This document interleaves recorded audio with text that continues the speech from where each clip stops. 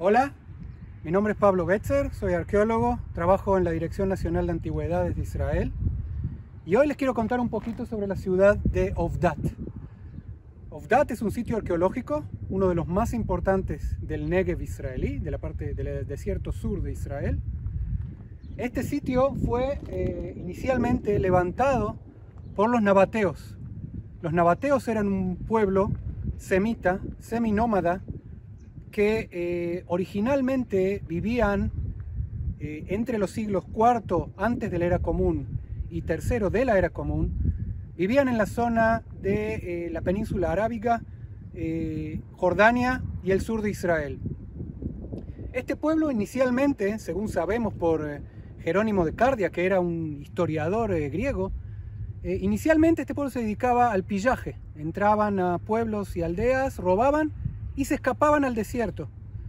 Eh, tal es así que eh, nadie los podía seguir. Ellos conocían mejor que nadie el desierto, sabían dónde podían eh, abastecerse de agua, porque ellos mismos habían excavado los pozos de agua y los habían camuflado. Entonces nadie podía perseguirlos y durante mucho tiempo a esto se dedicaron. Pero a partir del siglo II antes de la era común, este pueblo empieza a entender el potencial económico que hay en los bienes, los productos traídos del Oriente Lejano. Productos como la mirra, el ébano, el incienso, la seda.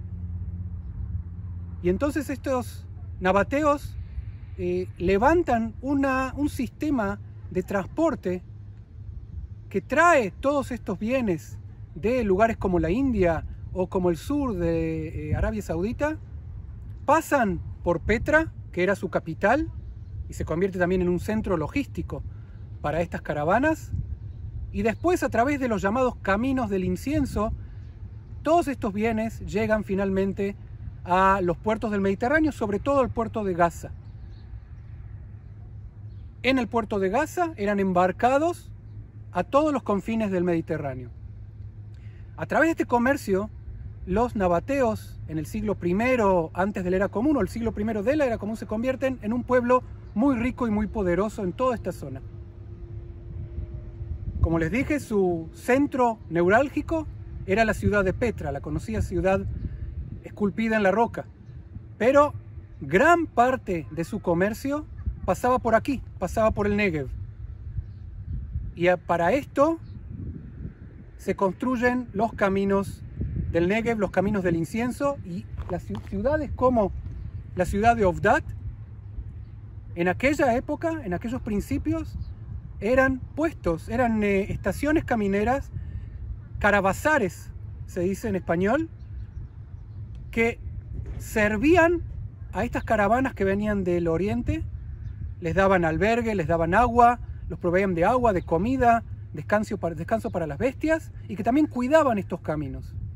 Aquí no sabemos qué tamaño tenía este lugar, este asentamiento, en el periodo nabateo.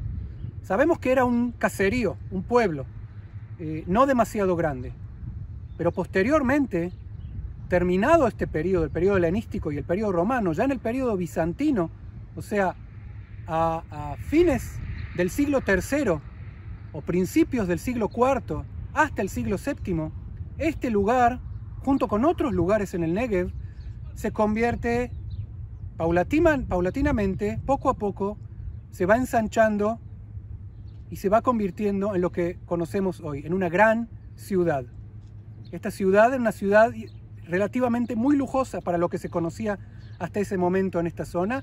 No nos olvidemos, estamos en el Negev, estamos en un desierto, pero aquí a pesar de eso floreció una civilización que no tiene ningún paralelo en la historia del Negev, por un lado, ni en la historia de ningún otro desierto en todo lo que es el Medio Oriente.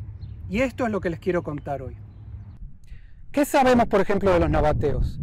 Los nabateos son eh, un pueblo que por un lado eran muy conocidos, o son muy conocidos hoy en la investigación arqueológica, y por el otro son un misterio. Los nabateos no dejaron eh, textos históricos, por un lado, no hay un historiador nabateo que nos cuente sobre su vida, pero por el otro, historiadores eh, romanos o bizantinos, o griegos incluso, escribieron mucho sobre este pueblo. Eh, por ejemplo, Plinio el Viejo, que escribió Historia Natural, un libro que habla sobre la geografía y la historia de los pueblos que vivían a, todo lo largo y, lo ancho del, imperio romano, nos cuenta que los nabateos también eran un, eran un, pueblo que habían empezado como nómades, pero que en la época de él, principios, eh, mediados del siglo I de la era común, eran un pueblo muy rico y muy poderoso, y que su ciudad principal, Petra, era una ciudad muy lujosa.